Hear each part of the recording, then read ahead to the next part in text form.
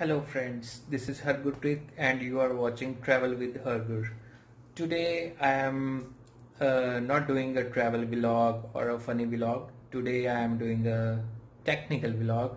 So today we are going to update uh, my drone DJI Mavic Pro 2017 purchased firmware update.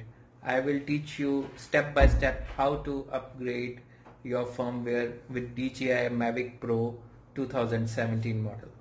Without wasting time, let's start video. Before starting update process of the DJI Mavic Pro, uh, please have a look at the previous shoot videos with this drone.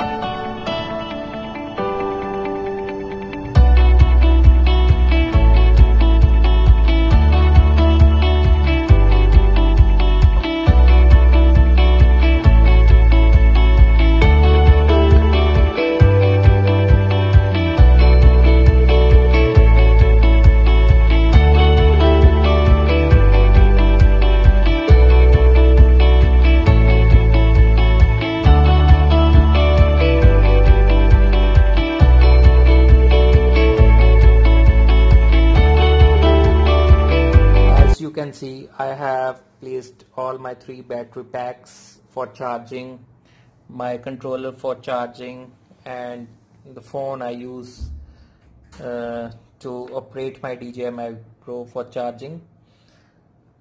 After all the devices get fully charged, I will get back to you. Uh, to start the update process you need a micro USB cable to connect your controller with your cell phone and you need to install one battery pack on your drone.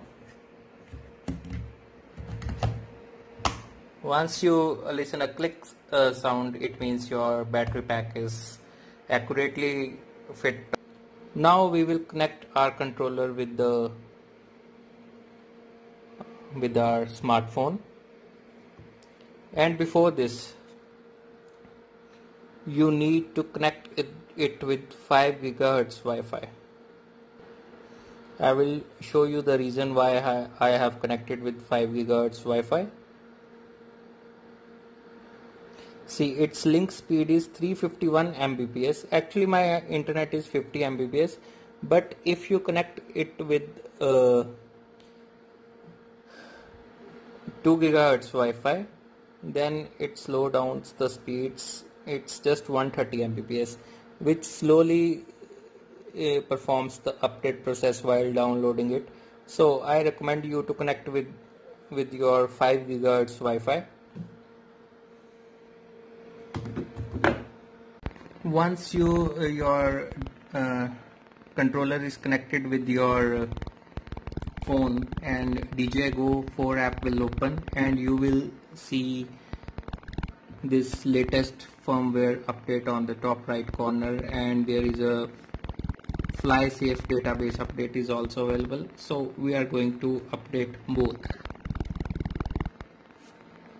Update now.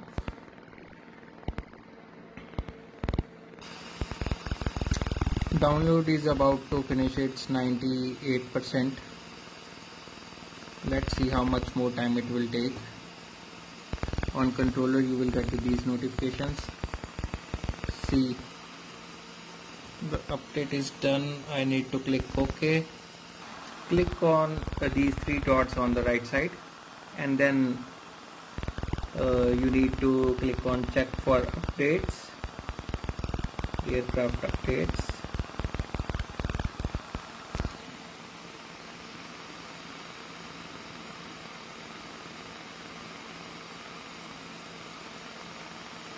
it says latest firmware